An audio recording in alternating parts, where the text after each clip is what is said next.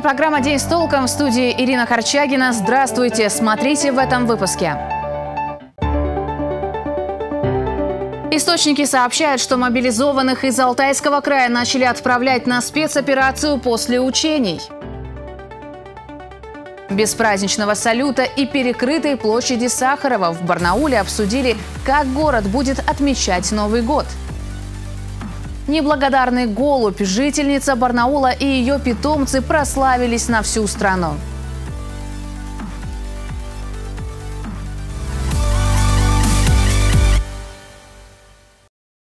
Пробки в 9 баллов сковали сегодня краевую столицу с самого утра. Жители сообщают о многочисленных авариях на улицах города. Кто-то уже окрестил понедельник днем жестянщика. Всю ночь в краевой столице шел снег. Он продолжался и сегодня днем. Причем резкая смена погоды случилась сразу после ураганного ветра. Подробнее в сюжете.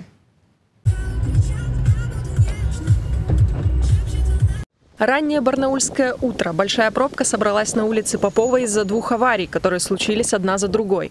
Один из автомобилей даже въехал в трамвай. На обоих мостах на въезде в город также аварии. Зима активно пытается ворваться в нашу жизнь. Сегодня пробки и задержанные авиарейсы, в минувшие выходные ураганный ветер, который буквально нарубил много дров. Нам разбили стекло, разбили половину балкона этим деревом. Соответственно, с утра мы все это убирали очень долго. Вот, сейчас не знаем, что делать. Сказали делать за свой счет ремонт. По итогу идти с этим в администрацию и них как-то пытаться отбить. По словам очевидцев, в 2.45 ночь пронзил звон стекла. На Юрина 225 сухое дерево сломалось и упало прямо на балконы жильцов. Три балкона пострадали. Причем в управляющей компании сказали, что большую часть затрат на восстановление горожане должны взять из собственных карманов.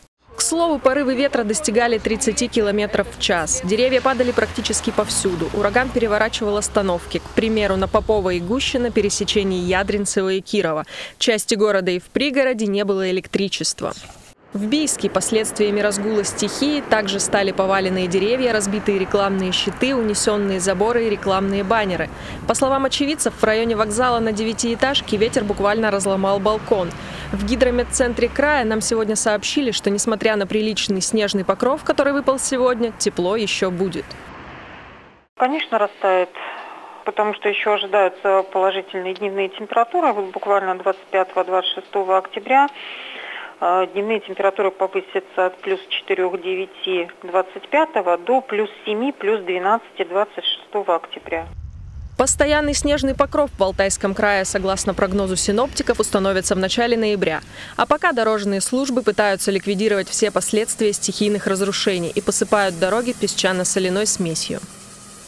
Юлия Щепина, Дмитрий Денисов. День с толком. Причина пожара в гостиничном комплексе «Калина Красная» пока выясняется. Как нам сообщили в МЧС России по Алтайскому краю, сейчас на месте работает испытательная пожарная лаборатория. Результаты проб будут известны в конце недели. Напомним, в воскресенье в селе Сростки загорелся гостиничный комплекс «Калина Красная». По словам очевидцев, ветер за несколько минут разнес огонь на объекте. Также из-за его порыва в селе произошло аварийное отключение света. Пожар локализовали на площади 600 квадратов. Для тушения огня привлекли 24 человека и 6 автоцистерн. Пострадавших нет. Также стало известно, что летом этого года комплекс выставляли на продажу. Его стоимость составляла 10 миллионов рублей. Дальше только специальная военная операция. В Алтайском крае мобилизованных начали отправлять на СВО после учений – Такие кадры из Омска появились сегодня в соцсетях. Представители сообщества «Добрая воля-22» подтвердили нам, что это действительно парни из нашего региона, которые прошли учения. При этом на официальном уровне об этом пока никто не заявлял. Тем временем в регионе продолжается отправка мобилизованных на подготовку перед спецоперацией. Это уже Курьинский район. Местные жители, власти и предприниматели вручили мобилизованным рюкзаки с комплектами личных вещей. Также бойцов сегодня проводили в Бийске и в Усть-Чирышском районе.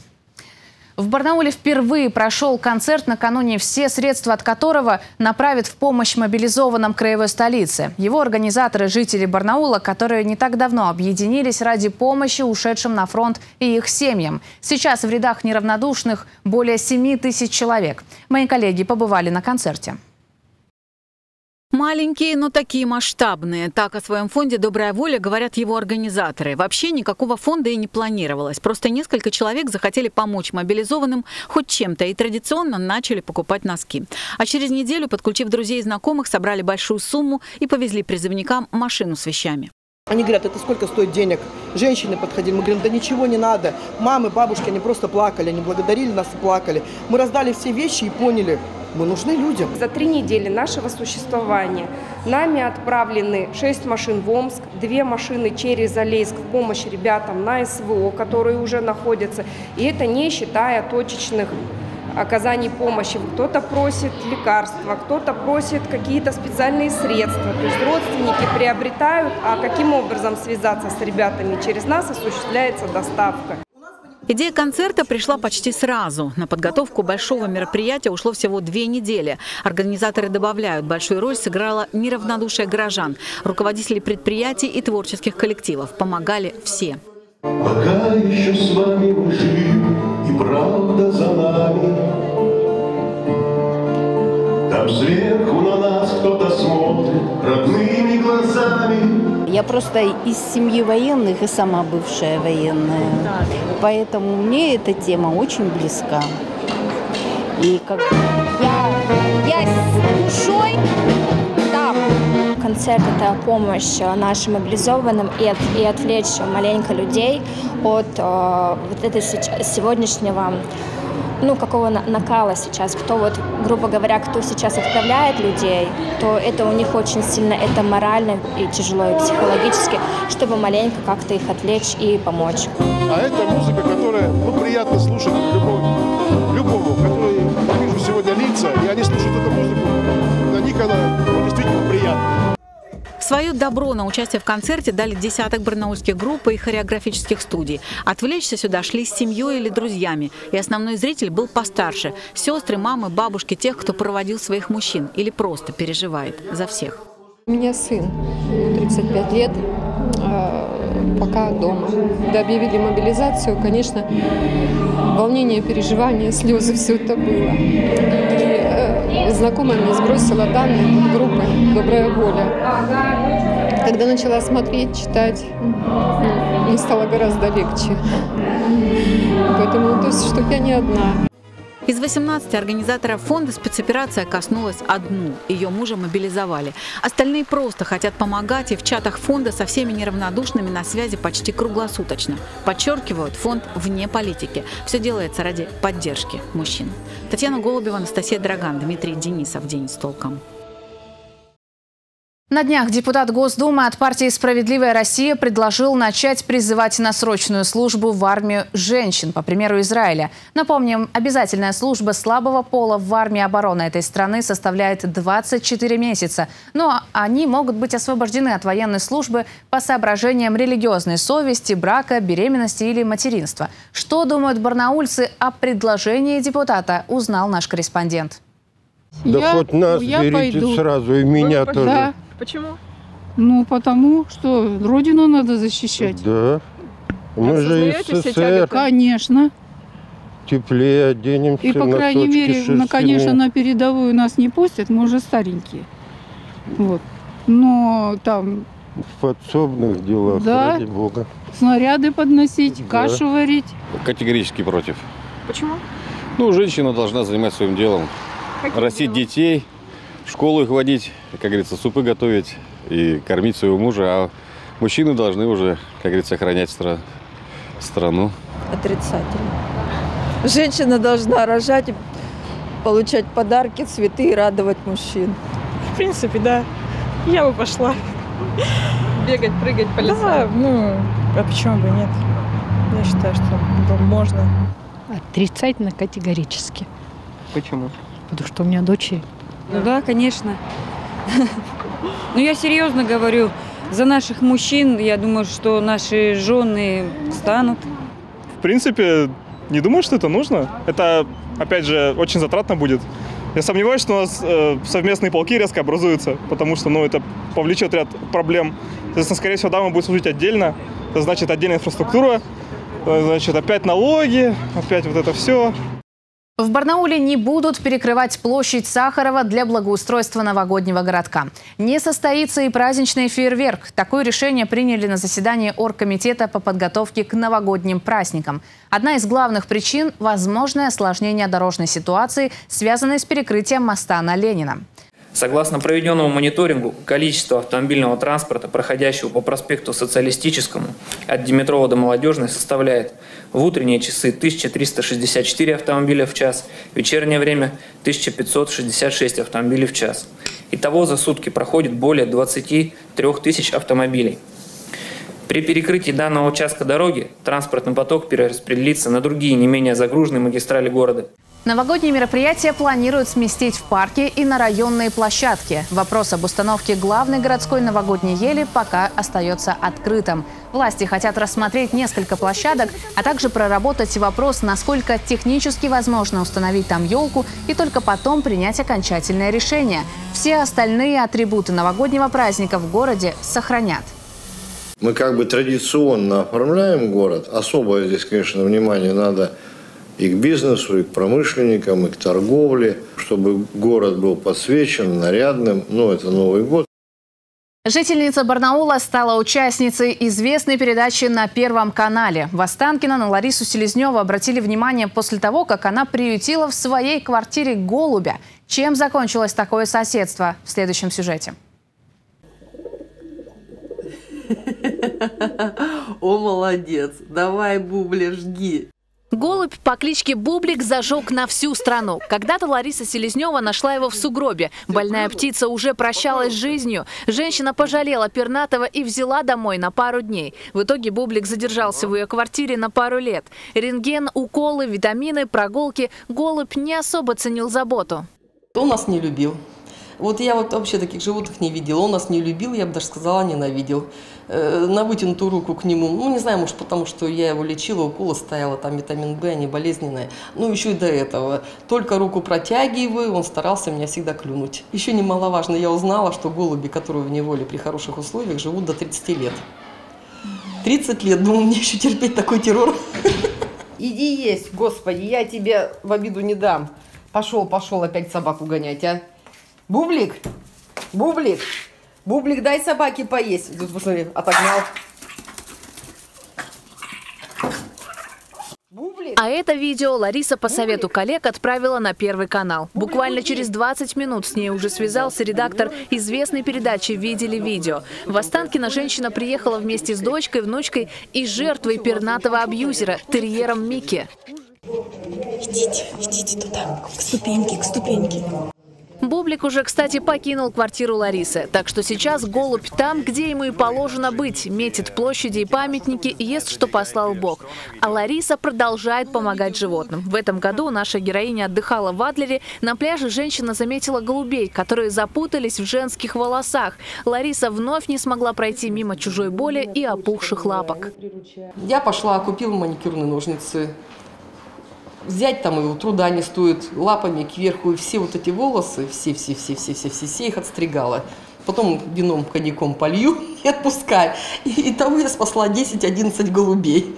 Сегодня терьер Микки спокойно подходит к миске, ведь уже никто не клюнет в самые пикантные места. Сейчас в доме новый питомец – кошка Кшися, которой повезло обрести свой дом и хозяина. Ирина Корчагина, Александр Антропов. День с толком. Краеведческий музей шлет привет из СССР. Под таким названием там открыли выставку, посвященную ушедшей эпохе. Она приурочена к столетию образования Советского Союза. Интерьеры, знамена и музыкальные инструменты прямиком из того времени. Поностальгировала и наша съемочная группа. Пой, русская душа! Раньше именно так, под музыку и с размахом выходили на разные праздники и демонстрации.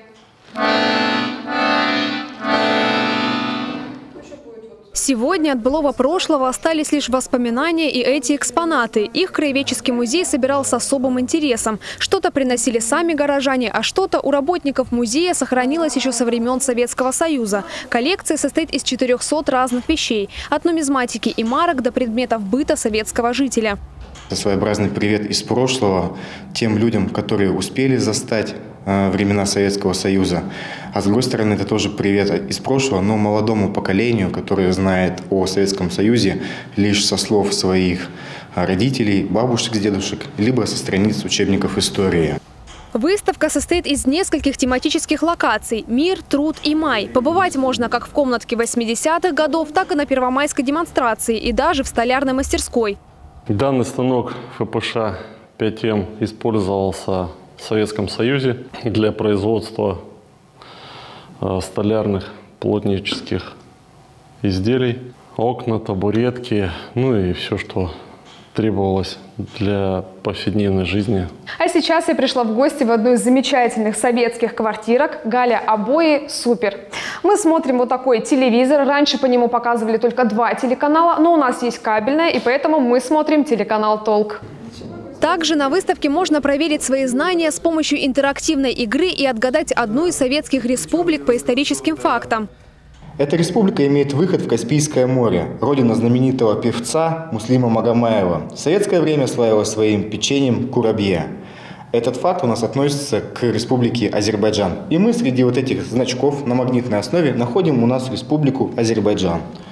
Она у нас, вот она, только единицам удается ответить правильно на все вопросы. Победители получают маленький приз от музея. Кстати, выставку посетили уже около 300 человек. Среди них как представители ушедшей эпохи, так и молодое поколение. К слову, вход в этот зал, как и по тем меркам, стоит сущие копейки. 20 рублей для детей и льготников и 30 рублей для взрослых. Окунуться в ностальгическое прошлое можно будет до января следующего года.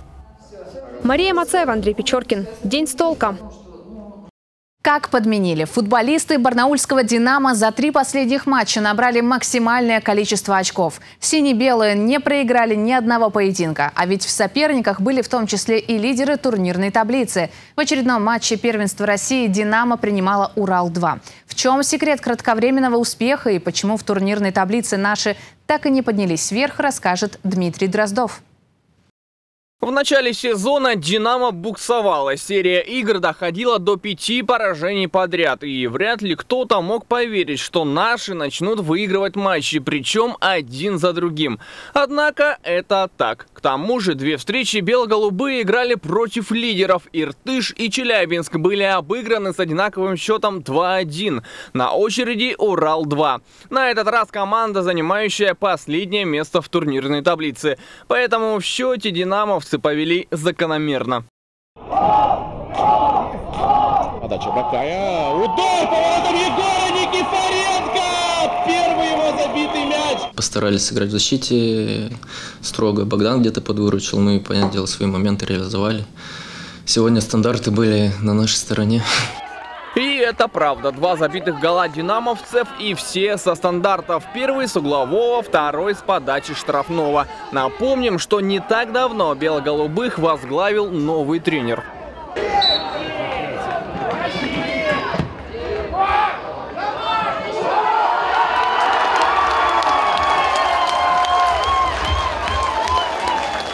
Первое, то, что матчи, когда нам, нас там штормило, все равно шла придирка, нужно время, чтобы ребята поняли меня, я узнал ребят полностью.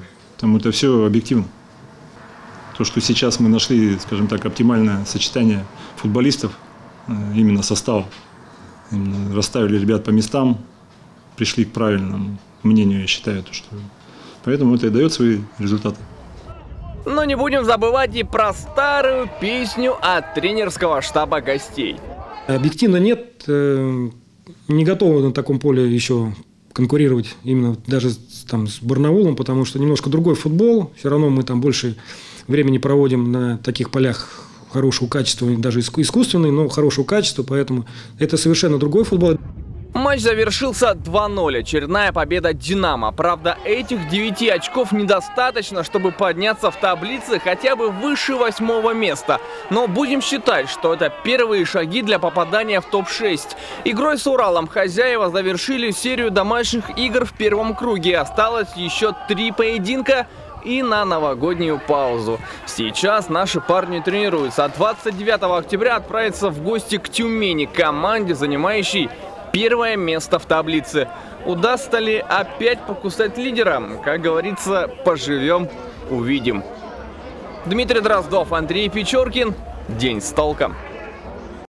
У меня на этом все новости. Смотрите нас на 22 кнопке и в соцсетях. Для вас работает телефон нашей редакции 205 545. Через несколько секунд узнаем, какой будет погода. Спонсор прогноза – компания «Эвалар». До встречи в эфире.